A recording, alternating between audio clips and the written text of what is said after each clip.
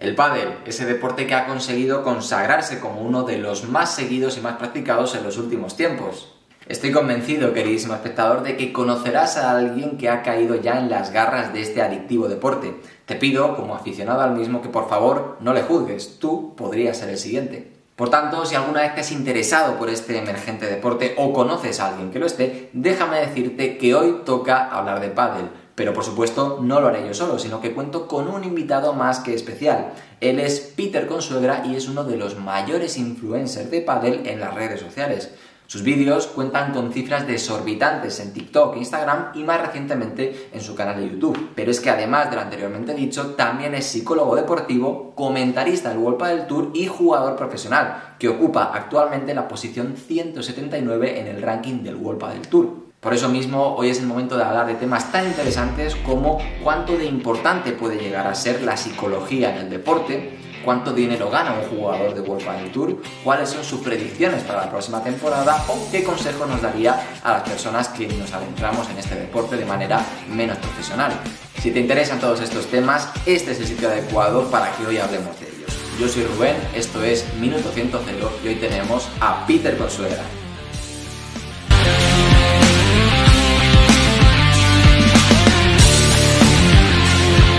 Peter Consuegra. ¿Qué tal? ¿Qué tal? Encantado. Muchas gracias, tío. Eh, encantado de que estés aquí en, el canal. Gracias por, prestarte.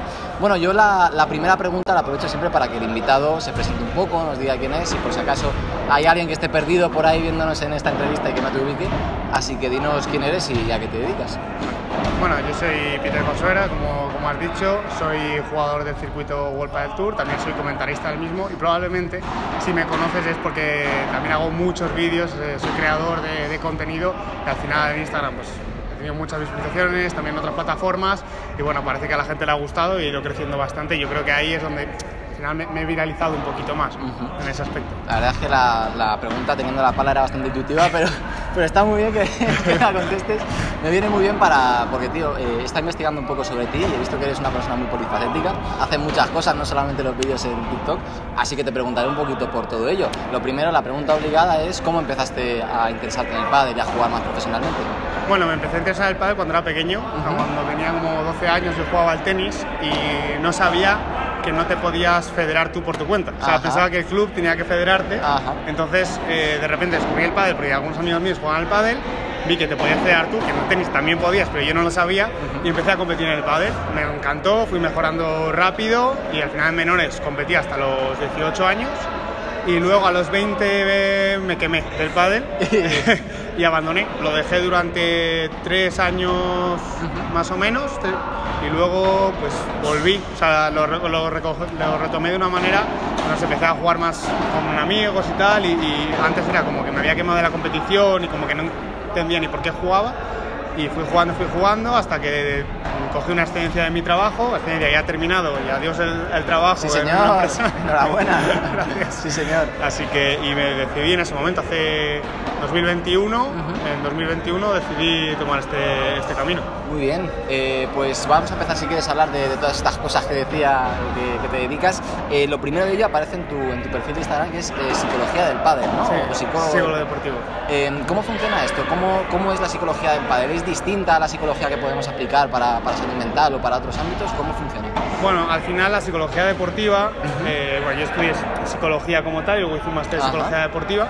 La psicología deportiva es como psicología clínica, ¿vale? Que es la psicología de pues, la que todo el mundo le viene a la cabeza de terapia, solo que es aplicada al deporte, ¿no? Tiene pues variaciones y tal, y un poco es utilizar esas estrategias, llevarte esas herramientas de la psicología tradicional que podríamos decir a la psicología deportiva, ¿no? Y en el más concreto en el pádel, pues al final trabajas pues varios aspectos, ¿no? Hay muchas variables que afectan en, en el deporte, que como pues la, motivación, la atención, eh, la concentración, entonces todo esto, pues eh, los, como la gestión de los nervios, hay un montón de, aspectos que, que, puedes trabajar en la pista, también la propia imaginación, al final se demuestra que solo por tú pensar cómo ejecutar algo, eh, activas los procesos ¿no? como si realmente estuvieses golpeando. ¿no? Entonces también eh, ayuda a aprender golpes nuevos, a trazar estrategias y te puedes poner como si estuvieses jugando y hacer una práctica incluso mm, sin estar en la pista. ¿no? O sea, al final hay un montón de, de, aspectos que se pueden trabajar desde la psicología. Para hacernos una idea de, de cuánto, de, de, cuán importante es esto de, la psicología, del circuito un poco profesional de, de World del Tour, eh, ¿cuántos jugadores eh, utilizan o tienen algún tipo de contrato con, con, un psicólogo deportivo? Bueno, yo creo que actualmente todos los de arriba, si no la, la gran mayoría, pero uh -huh. podría decir que prácticamente todos cuentan con un psicólogo o una psicóloga con la que llevan trabajando durante, durante años. Entonces, luego ya sí que es cierto que quizás eh, jugadores que estén también en el tobo, que estén jugando previas, como, como, es mi caso, a lo mejor esas personas no están contando, no, no es tan habitual ¿no? ver que, tenga, que, que, cuente con un psicólogo. Yo en mi caso sí que cuento con una psicóloga, incluso siendo psicólogo, porque Ajá. al final eh, considero que es fundamental ¿no? y por eso pues tengo que predicar también con el ejemplo. Claro, como cuando un médico se enferma del médico, claro. no, se puede, no se puede amputar el brazo. Exacto, al final estás muy sesgado por ti mismo y, y, no es fácil, ¿no? entonces es mejor siempre tener una visión desde fuera. Muy bien, ¿y crees que, que en el futuro la tendencia va a ser aumentar cada vez más este tipo de, de trabajos en el World del Tour o en el circuito de pádel? Yo creo que al final todo el mundo le da mucha importancia al, al aspecto mental. Uh -huh. Habrás oído hablar siempre, bueno, yo la cabeza es lo más importante, 70-30, pero sí. luego nadie trabaja con el psicólogo, ¿sabes? lo que pasa mucho es como, sí, pero, pero ¿qué haces para trabajar? ¿no? Porque tú para, o sea, sabrás jugar al pádel cualquiera, pero nosotros entrenamos todos los días y sabemos jugar al pádel, pero todos los días estamos entrenando técnica, eh, estará bien físicamente, pero todos los días entrenar físico. ¿Por qué no la parte psicológica? Yo creo que ya se están dando cuenta, ¿no? No hablo de por mí, porque al final, pues, obviamente, por, por, estudiar la carrera y tal, pues yo estoy mucho más eh, metido en ese mundo, pero creo que poco a poco se va viendo más, ¿no? Y se está dando más importancia. Yo creo que ya es algo que, que como digo, está en lo más, de, lo más alto y creo que irá avanzando, ¿no? También a categorías inferiores, a gente que esté en las previas se dan cuenta de que, oye, si tan importante es la parte mental, hay que trabajarla. Bueno, pues para seguir hablando un poco de, de estas cosas a las que te dedicas, eh, Peter, otra de, de, ellas es la de comentarista de Golpa del Tour. Sí. Eh, bueno, cuéntanos un poco, ¿qué, ¿qué, labor tienes? ¿Cubres todos los partidos? ¿Te encargas de unos pocos? ¿Cómo funciona? Bueno, al final vamos repartiendo de diferentes comentaristas. Este año se ha unido Manu Martín y Javi Redondo. Y al final Nacho Valencia va distribuyendo, ¿no? En la semana más o menos quien hace cada partido. Yo es cierto el año pasado sí que era como miércoles o jueves, una tarde la hacía normalmente.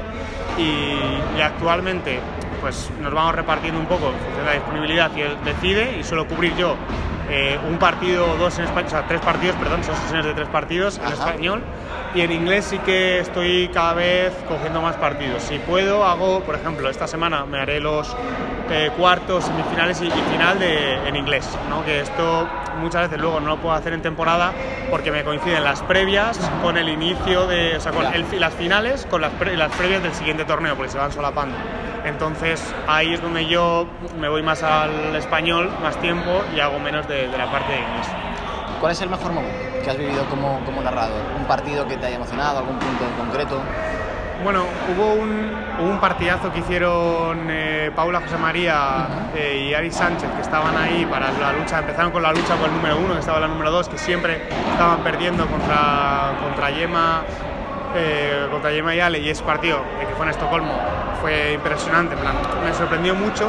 Sí es cierto que un momento, yo creo el que más me emocionó fue cuando Vela ganó un partido que dio un discurso, de cuando ganó el torneo, estuvo sí. dando un discurso ¿no? de lo, que Vela nunca se rinde, ¿no? y contando pues, lo que ya había contado, la anécdota de, con la correa y tal, y la verdad que, que fue muy emocionante ¿no? ver una persona que ha estado tanto en el padre que ya como que parece que descartas a las personas cuando son más mayores, ¿no? Y como que de alguna forma inconscientemente las, las retiras de, tener opciones de ganar, de estar ahí y al final quién ha sido y es eh, probablemente para mí el mejor jugador de la historia, ¿no? Y. y el mensaje que dio el estar en ese momento, la verdad que para mí sí que fue muy emocionante. Muy bien, pues eh, pasamos a otra, a otra de, de, tus facetas. Esto va a ser, esto va a ser así constantemente. eh, que es la de, bueno, la, la, de, la de influencer del pádel. Sí. ¿no? Eh, fuiste uno de los primeros, ahora es verdad que, que hay más gente, pero tú llevas ya eh, un montón de tiempo haciendo vídeos en, en, la red. Eh, ¿Cómo decidiste dar el paso de, de, transmitir un poco lo que tú hacías en pista a, a internet? Bueno, con la decisión que tomé de al final de ir dejando la. dejando, Nos saludan desde la pista de. ¡Dame, Mati! eh, al final con, con, cuando hice ese, ese cambio ¿no? de, de, dejar el trabajo, todavía estaba trabajando en el, en el Santander, estaba con mi trabajo de oficina, uh -huh. de 10 horas, 9 horas o, o, las horas que fueran, Y, y, ahí yo ya estaba en mi cabeza maquinando un poco la idea de por qué no dedicarme al pádel, ¿no? y, y mi primera idea fue eh, ya que iba a dar ese salto, pues mostrar ese proceso, ¿no? ¿no? No ya el jugador que llega profesional, que llega a lo más alto y que luego haces una retrospectiva y empiezas a seguir los pasos, sino más un poco compartir el día a día, la semana a semana, los malos momentos, los buenos momentos y dar un poco más de visibilidad a todo eso, ¿no? A ese proceso. Dentro de esto, eh, pues bueno, empiezo a hacer vídeos de todo tipo y llega un momento en el que yo me voy de viaje y preparo 7 8 vídeos, no solo de esto que, que, ya hacía, sino también hago cosas de humor, cosas con las que la gente se identifica. y, y, como los subí todos los días y fueron muy buenos vídeos, estaba bastante currado, yo creo que estaba, estaba guay, o al menos empezó de repente a viralizarse eh, uno tras otro. Y cuando volví de viaje, pues ya no paré, ya empecé a seguir, ya, seguir, seguir, claro.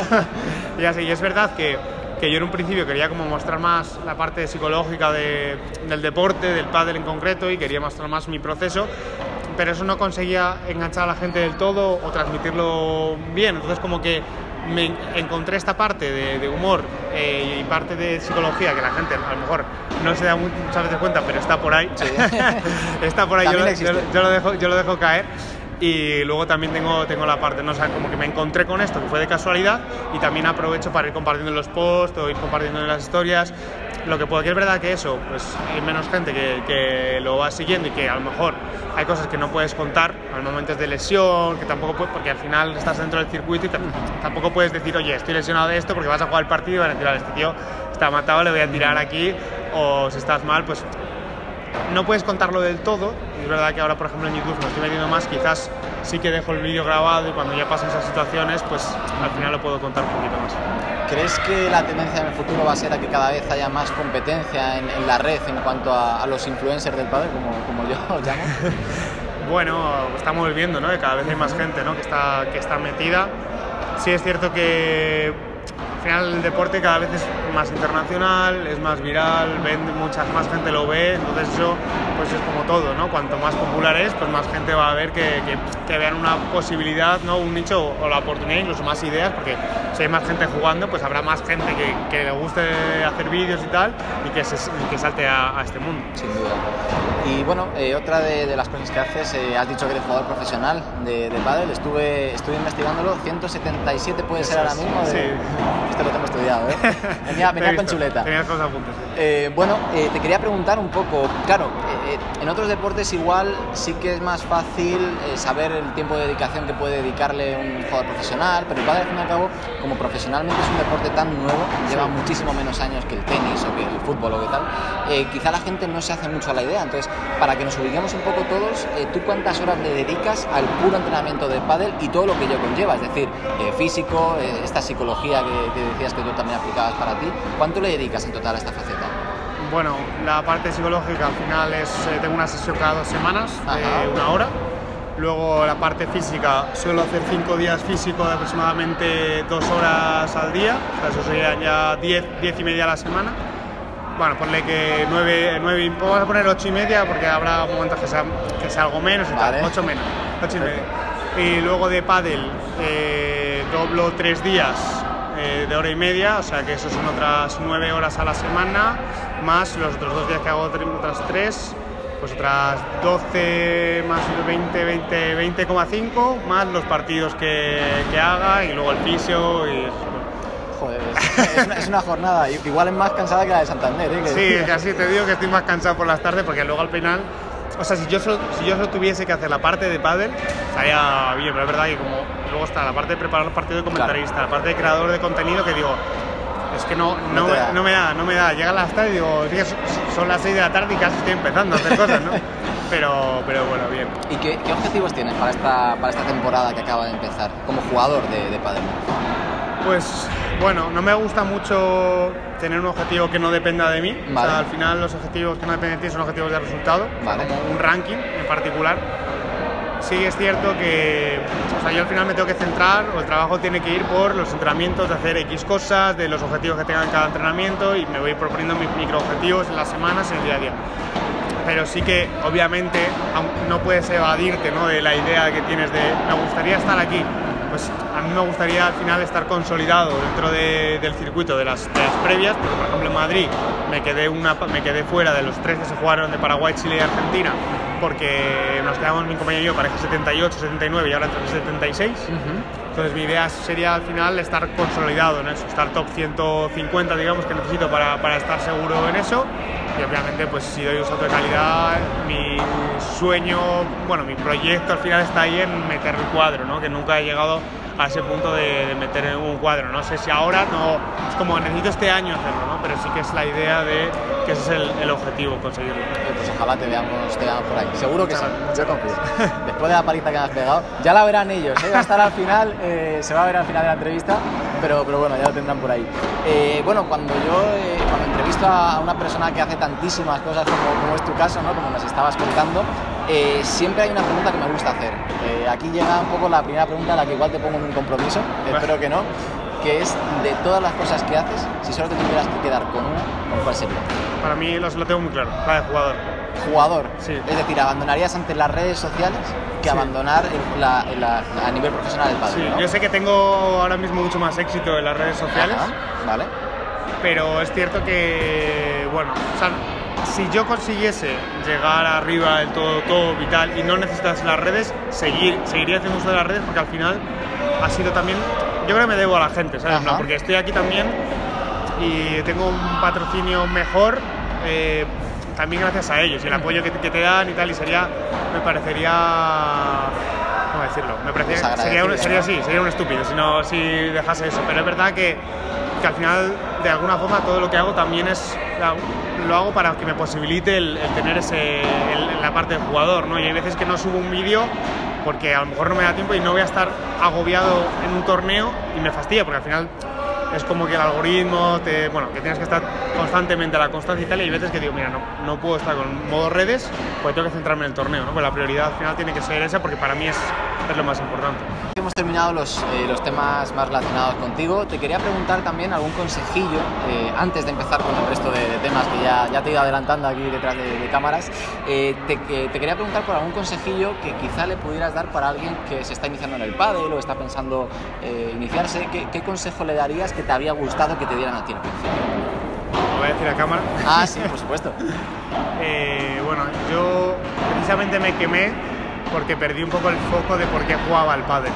Entonces creo que muchas veces pensamos en, en ganar, ¿no? en competir. La competición mola una barbaridad y es genial, pero al final juegas al pádel porque te gusta el pádel, porque te divierte jugar al pádel, ¿no? A lo mejor ya cuando llegas al profesional pues puede haber otros motivos que te inciten a, o te motiven a seguir jugando, pero creo que es muy importante no perder el foco de por qué haces lo que haces. ¿no? Y si juegas al pádel tiene que ser un disfrute y, creo que el objetivo principal no tiene que ser, sobre todo cuando estás aprendiendo, iniciándote, el ganar, ¿no? tiene que ser más el, el aprender, el trabajarlo de las clases, llevarlo a los partidos y si pierdes, pues bueno, tú ir mejorando y sobre todo eso, disfrutarlo y no olvidarte de que lo haces porque te gusta.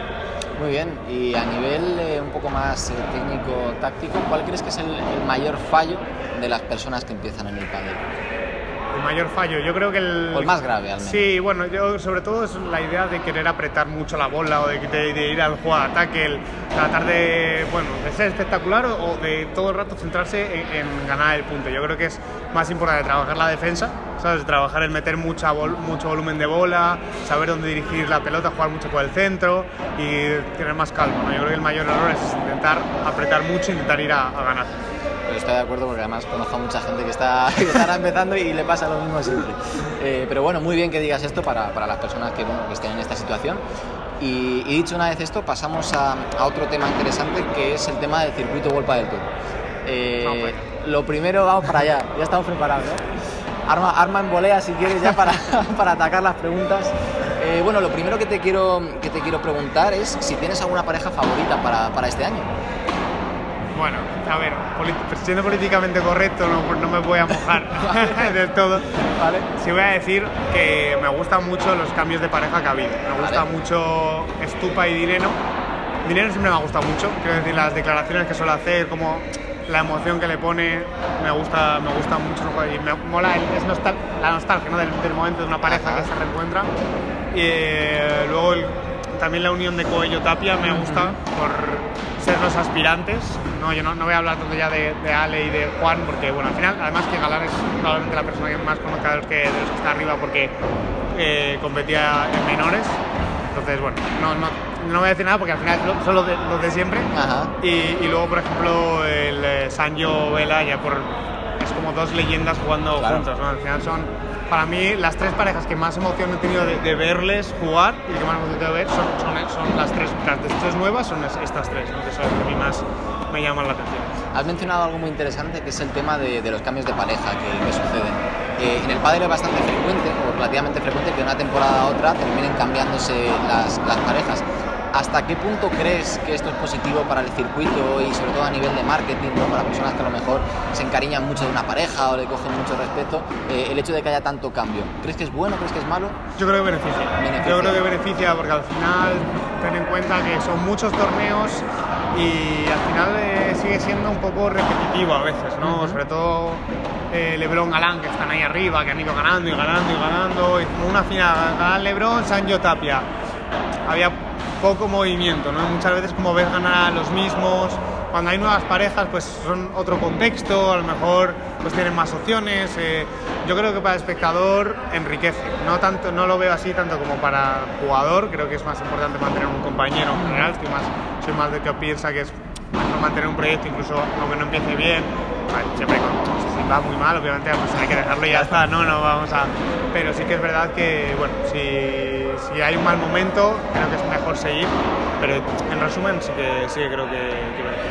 Hablabas también de, de un problema que es el tema de la repetición de enfrentamientos, ¿no? El hecho Sí. que a lo mejor durante una temporada el, el Sancho Vela en este año y Alejandro Galán y Lebron lo veamos 10 veces, ¿no? O 15 veces. Eh, ¿Crees que hay que implementar? Y además esto también se junta con, con otro tema que es el tema de las previas y las preprevias, ¿no? Es verdad que hay muchos jugadores que, que estáis en cuadro preprevia o de, de previa que al fin y al cabo llegan con tantísimo desgaste a las fases finales de la previa que luego tienen menos opciones o más dificultades físicas para llegar al cuadro final. Entonces, eh, un poco englobando estos dos temas, ¿crees que hay que hacer algún cambio en, en el tema de- del sistema de, de World del Tour? Sí, bueno, han empezado, ahora han empezado con haciendo el cambio, de- han quitado la, pre, la pre-previa. Antes por eso entraban 96 parejas y ahora 76, porque Vale. ahora solo hay previa.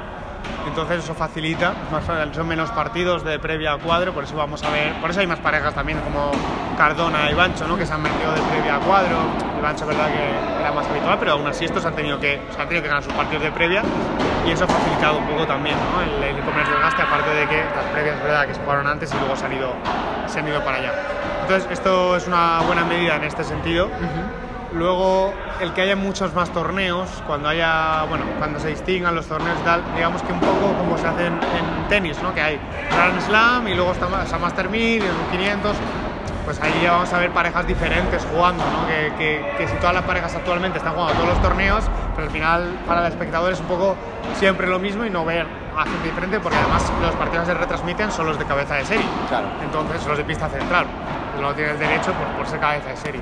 Entonces, yo creo que cuando ya por fin los premios sean mejores, que han ido mejorando, eh, y haya más torneos y no, un jugador no se vea obligado a jugar todos los torneos, pues será también cuando un poco se mejor, mejore cuando haya menos partidos repetidos. Una de, de las cosas que ha implementado World del Tour últimamente es el hecho de llevar fuera de España eh, los, los torneos, ¿no? Sí. Vimos el año pasado, así que recuerde, se fueron a, a Malmo, ¿no? A, a varios sitios de, de ahí.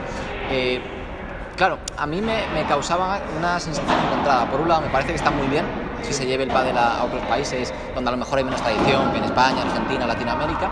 Pero por otro lado, cuando uno observaba muchas veces los, los partidos, no había apenas eh, gente, las gradas estaban vacías, daba como una sensación, eh, bueno, un poco ¿no? Eh, di- distinta. Sí. ¿Crees que se va a conseguir realmente implementar un poco la cultura del pádel en, en estos países? Sí, yo creo que quizás en los países, quizás en Abu Dhabi, eh, en Qatar, veamos menos gente, ¿no? Que en otros, que a lo mejor en otros sitios, porque en Suecia sí que es cierto que hay bastantes. En Ámsterdam lo llenaron, por ejemplo, Ámsterdam se llenó completamente. Italia eh, se juega bastante, verdad creo que no sé, no sé alguno de World del Tour que esté ahora mismo, pero vamos, en Italia juega bastante gente, en Francia también. Yo creo que estamos en un punto donde sí que se, se va a llegar a eso. Ya, ya incluso diría que los torneos que veamos se verán que hay un montón de gente. Fíjate, en Argentina, por ejemplo, como tiene mucha tradición, pues ayer eh, siendo, bueno, siendo jueves, estamos a viernes en este, en este momento, eh, había, bueno, ya estaba ahí casi lleno, ¿no? La, allí en La Rioja, entonces, pues bueno, al final yo, yo creo que sí, yo creo que, que va a llegar a llenarse. Muy bien, pues eh, pasamos a uno de, los temas conflictivos de, de, la entrevista. A ver hasta cuándo nos puedes decir, yo hasta, hasta lo que tú me digas. Vale. Eh, Tampoco sé muchísimo. Bueno, está bien que lo digas ahora, ¿no? Como precedente para después. Eh, es el tema del dinero. ¿no? Está claro que es lo que mueve más, es el morbo, es lo que a todo el mundo le interesa. Y como te decía antes, igual en otros deportes, bueno, pues es más fácil estimarlo. Todo el mundo se hace una idea del caché que tiene Messi o LeBron James, más que nada porque en cuanto sale se hace público en todos los periódicos y la gente lo puede. Pero en el pádel, que tiene menos trayectoria profesional como deporte, bueno, pues eh, tal vez es más difícil estimar eh, hasta qué, qué, horquilla del World Padel Tour puede vivir de, este, eh, de este deporte y cuál no. Entonces, ¿cómo funciona? ¿Se cobra bien jugando, jugando al pádel?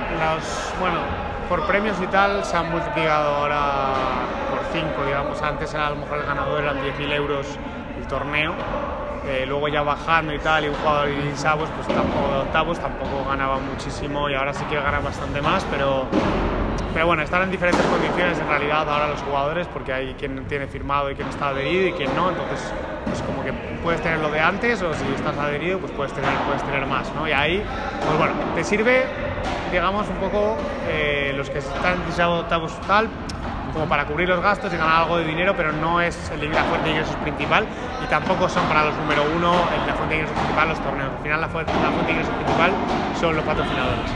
Y los patrocinadores al final más el año pasado que este, mueve mucho dinero. En el pádel se mueve mucho dinero para los 10 primeros, eh, incluso 20 primeros, bastante. Sobre todo los 10 primeros y parejas eh, que, están ahí luchando.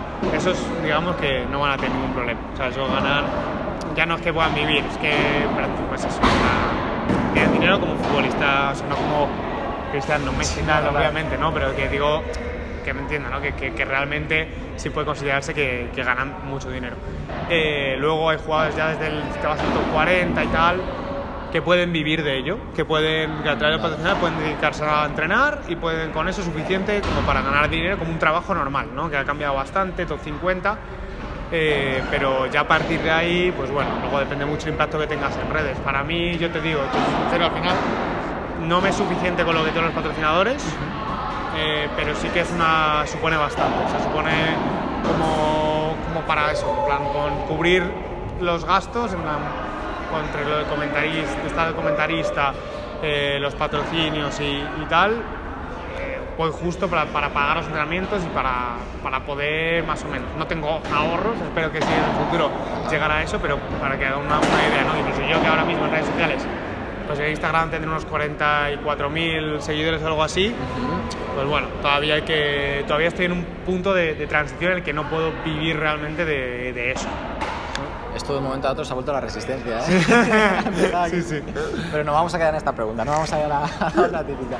Eh, no, pero, pero sí que eh, viene muy bien. Entonces, ponías un poco la, horquilla en los, en los 40 primeros, ¿no? Más o menos. Sí, a ver, luego hay, muchas diferencias. Claro, sí, evidentemente. El 10, el 20, el, chicos y chicas también hay mucha diferencia. Y me imagino también que no será lo mismo un 40 Lamperti que un 40... Claro, claro, sí, luego las redes sociales mueven muchísimo. Lo que, claro, Igual que yo, yo, yo me, me, puedo, me muevo en entornos en los que uno del 177 ni de lejos podría ser, que normalmente pues tendría como para que le pague material y demás y algo de dinero por objetivos, pero lo que sé, pues te digo que metes cuadro y te doy 200 euros, ¿sabes? Claro. Por eso mismo eh, quería llevar un poco el, eh, eh, la pregunta a tu caso, porque claro, tú me decías esto, ¿no? que, no, no, no, te puede dar siendo un 177 del mundo, un top 200 para vivir, pero en tu caso sí lo consigues por el resto de, cosas, ¿no? que exteriorizas tu marca, que, consigues bueno, pues hacer redes sociales, hacer el comentarista y tal. Pero claro, ¿hasta qué punto para, para un jugador profesional o que pretende ser profesional merece la pena realmente dedicarle todas las horas que tú le dedicas y si sabe que igual no tiene la capacidad para ser un 10? Claro, ahí está donde hablamos ¿no? de dónde pones el foco, tienes que poner el foco para mí en el, en el proceso y considerarlo un poco una inversión, ¿sabes? Yo, por ejemplo, hubo un momento en el que no tenía, o sea, no, hace tanto que no tenía tantos seguidores en redes sociales y mi patrocinador me daba el material y, ya está, ¿sabes? Hasta hace dos años de eso, yo estaba ya compitiendo y de verdad tenía ahorros pero al final, o sea, no, económicamente, pues realmente no te, no te compensa como tal, no, no, no, lo haces por ganar dinero, al menos en un primer momento. Si no te llena, o sea, si no es el proceso, si, no te, si al final no vives la experiencia, pues que no tiene sentido. O sea, yo creo que tienes que verlo un poco como invierte un dinero en vivir esto, ¿sabes? No en, en llegar arriba del todo, que habrá quien tenga eso en mente y bueno, pues lo que le puede pasar es que si cae, pues sea bastante infeliz y probablemente tenga una depresión. Pero, ¿sabes? Que llega a la gente, llega, pero que luego es importante también eso. Yo creo que el, vivirlo, ¿no? El, sentir que no es un gasto. Es como estoy gastando dinero, estoy perdiendo mis ahorros, estoy, como estoy invirtiendo dinero en esto. Claro. Sí, además ahí es muy importante eso que decías al principio de no fijarte objetivos que no dependen de ti no fijarte en un top 10 si eres un 200 y a lo mejor en esa temporada no vas a conseguirlo, ¿no? sino fijarte cosas que puedas mejorar tú. Pues puedes mejorar un poco la bandeja, el remate, la boleta, ese tipo de cosas. Eh, bueno, pues eh, ya para cerrar un poco eh, este tema, hay una, un tema que es bastante, bueno, es polémico, es muy, es muy movido en, nuestros días, que es el tema de la diferencia salarial que hay entre el deporte masculino y el deporte femenino. yo no sé en el pádel cómo, cómo funciona eso, pero bueno, hay quien argumenta que debería existir más igualdad entre los salarios y hay quien por contra dice que, esto depende de lo que uno genere y que si el deporte masculino mueve más que el femenino, es, es lo que hay. ¿no? Entonces, ¿en el pádel crees que existe tanta desigualdad entre ambos géneros como en otros deportes? Eh, no, o sea, el año pasado los premios que había del año pasado se igualaron entre chicos y chicas, en uno de los dos deportes donde estaba igualado.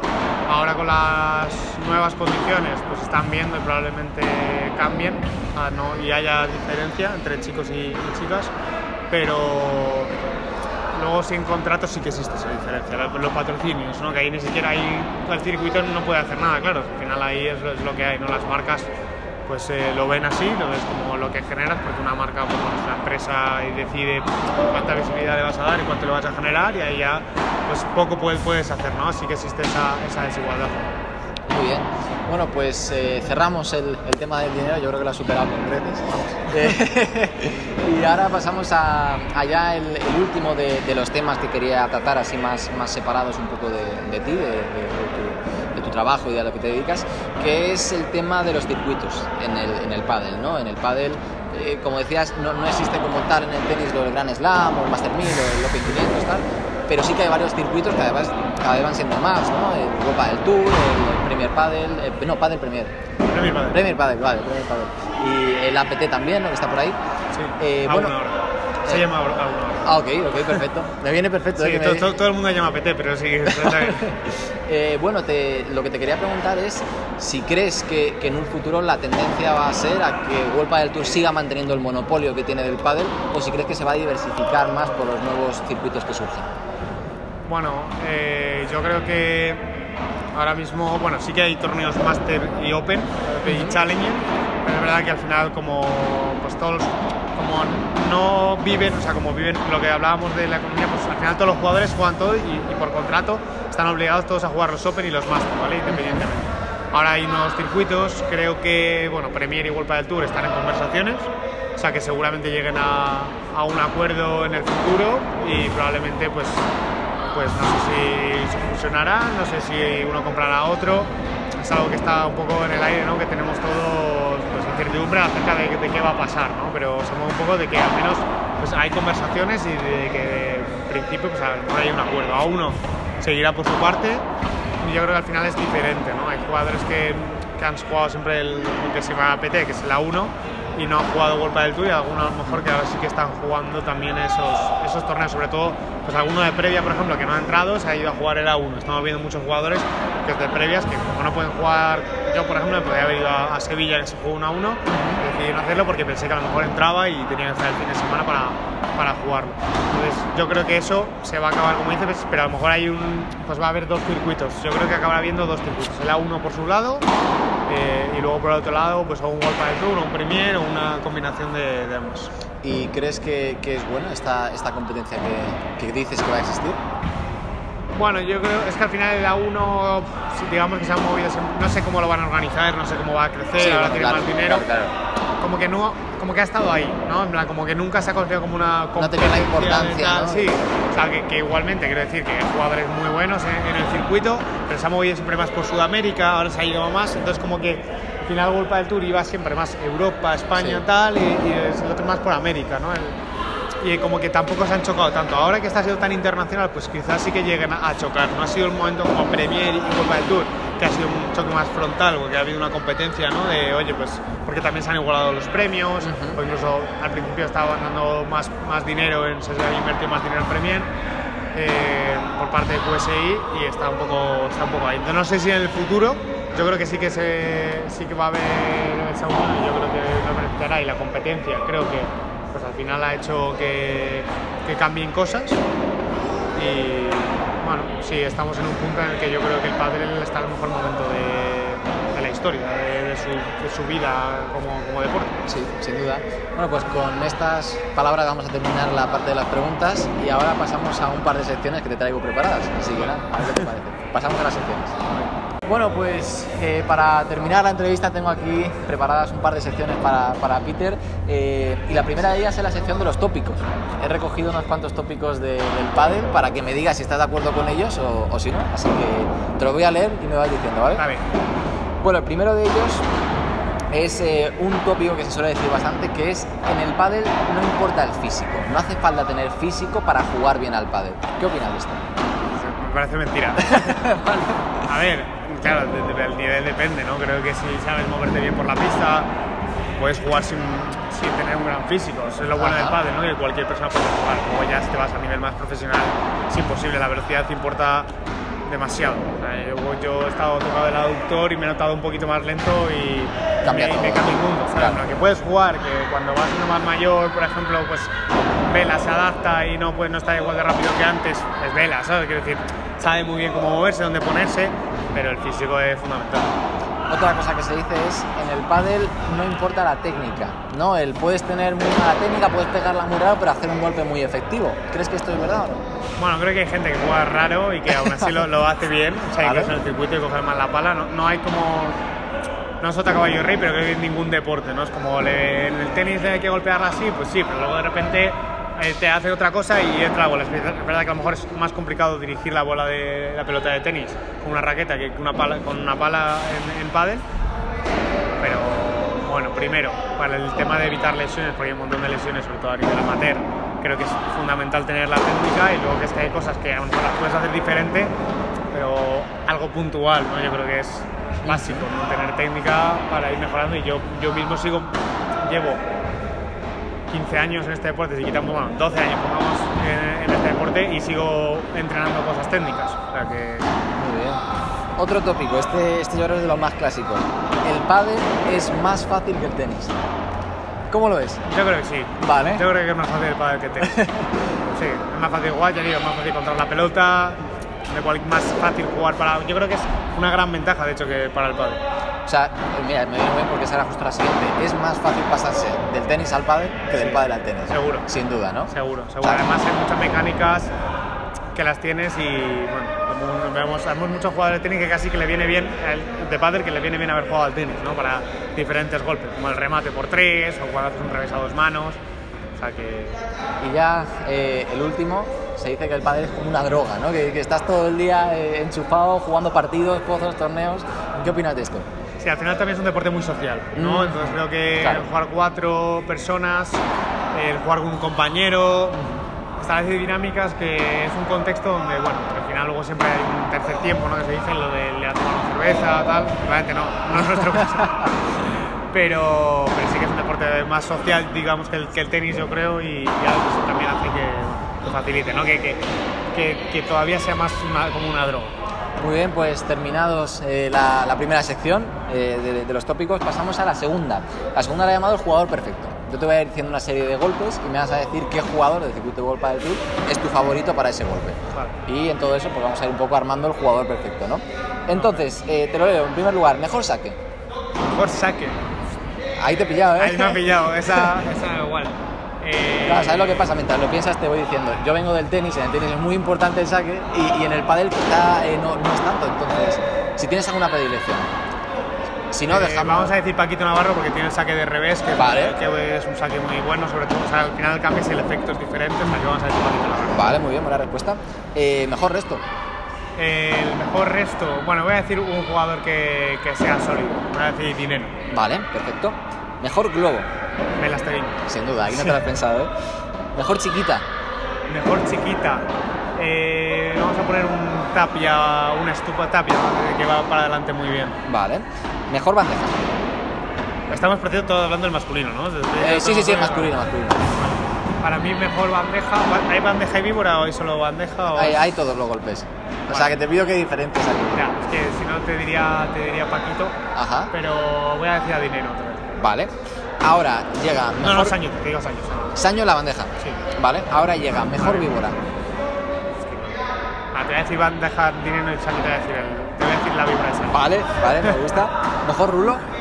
Eh, estupa. Estupa, estoy de acuerdo. Fácil. Eh, esa es sencillita. ¿no? Menos mal. mejor, eh, mejor remate, mejor pegada. Lebron. Lebron, vale. Mejor visión de juego. Vela. Mejor mano. Eh...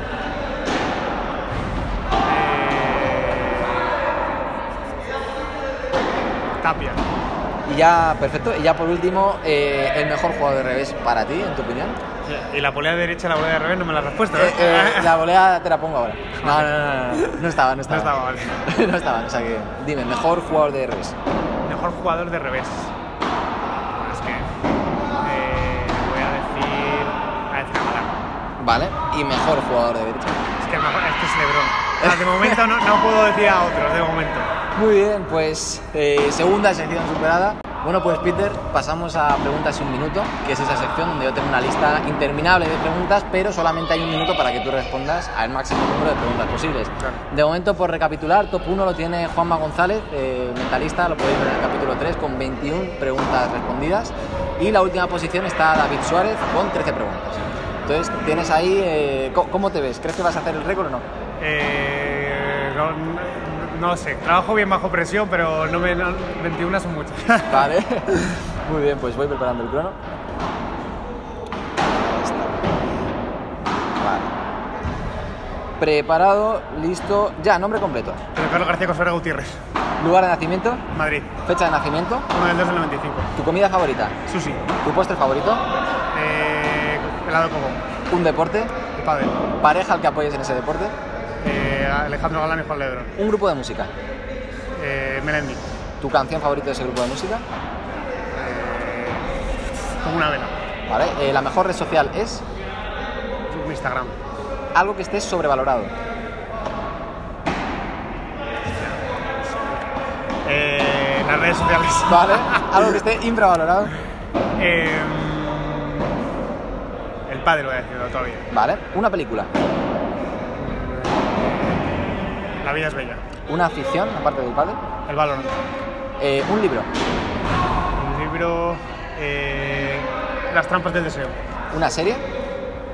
Juego de Tronos. Un lugar para perderte. El bosque. País o ciudad. Vale, tiempo, tiempo, tiempo, tiempo. Has contestado bastantes, ¿eh? Sí, Te- tengo que hacer luego el recuento, pero has contestado, has contestado un montón. Estaba complicadísimo. Está, te pillan en alguna, ¿eh? La de... Pero bueno, muy bien. Bueno, pues Peter, eh, muchísimas gracias, tío, por pasarte por, por esta entrevista, por el canal. Bueno, pues para terminar la entrevista tenemos un bonus track. Vamos a hacer eh, unos cruzaditos. Me apetecía que me diera una paliza, así que nada. Así que, Peter, se me había ocurrido que podíamos hacer uno en cada lado, ¿te Vale. parece bien? Y, y nada, y que me dieras un poquillo de, de ventaja en cada uno. Vale. Eh, a ver, eh, hemos estado peloteando y le he visto, le he visto fino. Vale. Así que te voy a dar cuatro puntos de ventaja. En cada lado. En cada lado. Vale. Cuatro. Sí, o sea, no, no hay diferencias. Te lo dejo en cuatro. Vale, perfecto. ¿Y cómo crees que va a quedar? Eh, no sé, yo espero que bien. O sea, yo creo que. Es que tampoco quiero ir de sobrado. Humilde, humilde. Ah, me me voy a pegar una paliza, yo lo tengo clarísimo. Muy bien, pues nada, Peter, nos vemos y a ver qué tal. Vamos a ver qué tal.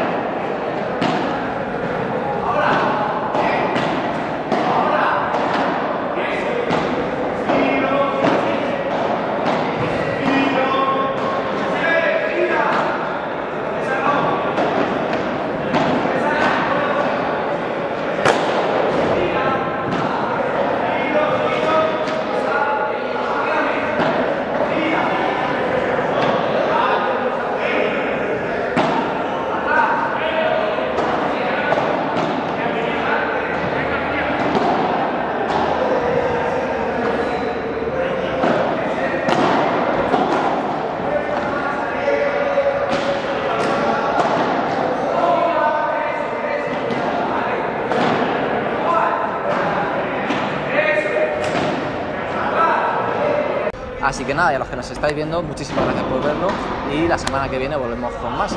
Muchas gracias.